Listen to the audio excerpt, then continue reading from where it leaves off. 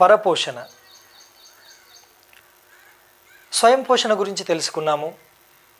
స్వయం పోషణలో మొక్కలు ఆహారాన్ని తమంతట తామే తయారు చేసుకుంటాయి. కాబట్టి వాటిని స్వయం పోషకాలు అన్నాం. ఇప్పుడు ఆహారాన్ని సొంతగా తయారు చేసుకోలేని జీవులు వీటిని మనం పరపోషకాలు అంటారు. వివిధ రకాల జీవులు వివిధ పద్ధతుల్లో ఆహారాన్ని తీసుకుంటూ ఉంటాయి. పరపోషణ ముఖ్యంగా మనకు మూడు రకాలుగా ఉంటుంది. పూతికాహారులు పరాన్నజీవులు పరాన్న బుక్కులు పుట్టగొడుగులు వంటి శిలీంధ్రాలు ఆహారాన్ని శరీరం వెలుపల చిన్న చిన్న అణువులుగా విడగొట్టి శోషిస్తాయి. వీటిని పూతికాహారులు అంటారు పరాన్నజీవులు.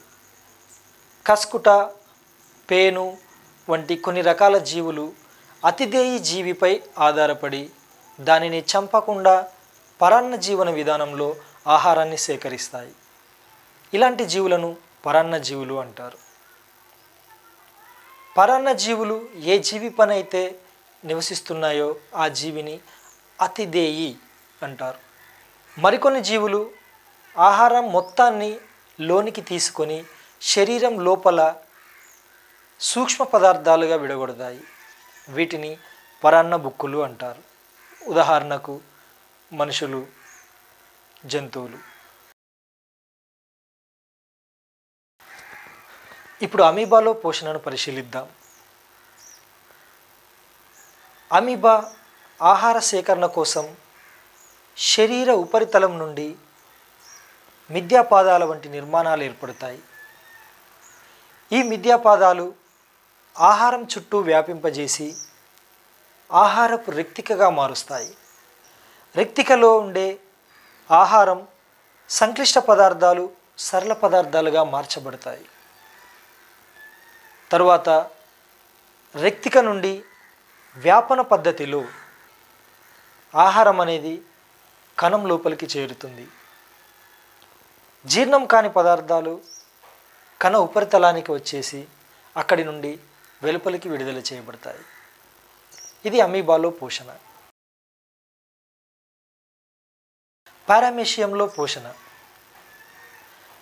పారామేషియం కాలి చెప్పు ఆకారంలో ఉంటుంది. పారామేషియంలో ఒక ప్రత్యేకమైన స్థానం నుండి ఆహారం గ్రహించబడుతుంది. ఈ భాగాన్ని కణ ముఖం అంటారు.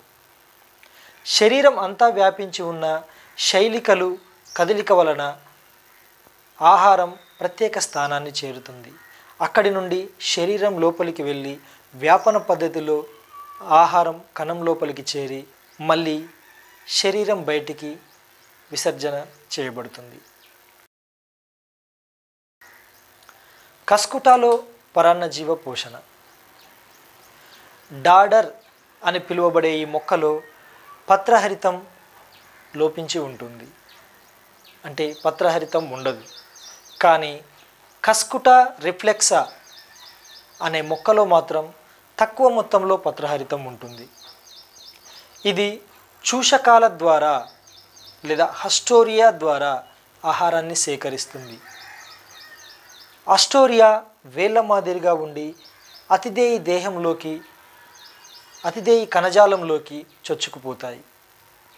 కస్కుట కాండం సన్నగా పొడవుగా నారింజ పసుపు లేదా గోధుమ రంగులో ఉంటుంది. డాడర్ విత్తనం మొలకెత్తినప్పుడు అంటువేరు ఏర్పడుతుంది.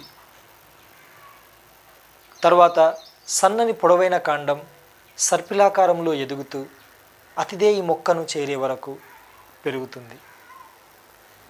తర్వాత హస్టోరియా అతిదేయి కాండంలోకి దారువు మరియు పోషక కణజాలంలోకి చొప్పించి ఆహారాన్ని గ్రహిస్తుంది. కస్కుట అతిదేయి లోపలికి అస్టోరియాలను చొప్పించిన తర్వాత ఈ అంటువేర్లు అనేవి నశించిపోతాయి. ఈ విధంగా కస్కుట మొక్క ఇతర మొక్కలపై పరణ జీవ విధానంలో పోషణ సాగిస్తుంది.